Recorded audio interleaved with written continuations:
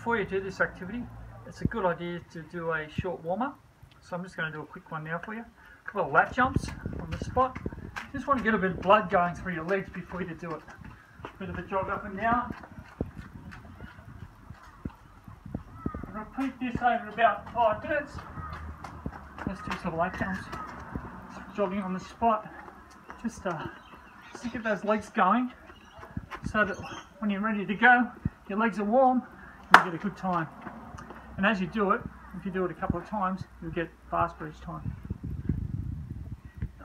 Okay, today's challenge is a fitness challenge, an agility challenge, a speed challenge, and a power challenge all put into one.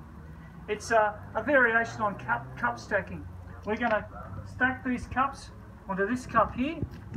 What I've done is I've set it up over 10 metres.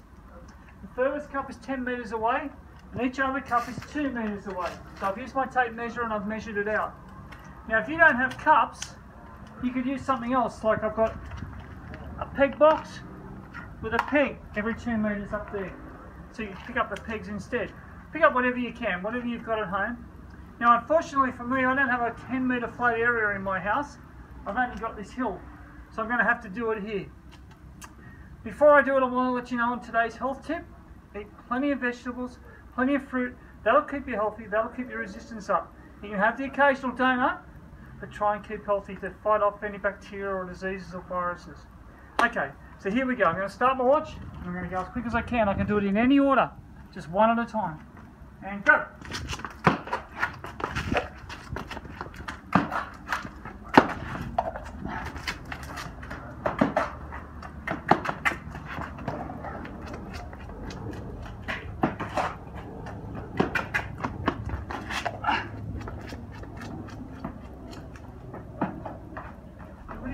Watch.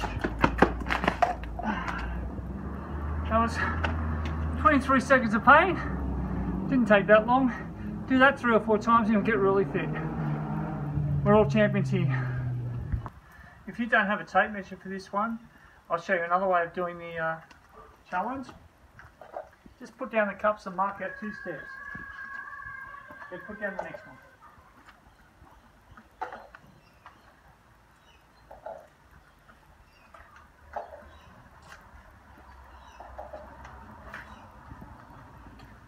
That way I've marked out a course. And for little people, like if you're in uh, infant school or primary school, that might be a better way of doing it for you anyway. You get a time and uh, go against your own time each, each time you have a go. Another thing I want you to think about on this one is some safety. Don't use glass cups. Just use plastic cups or paper cups. And by all means, subscribe to my channel.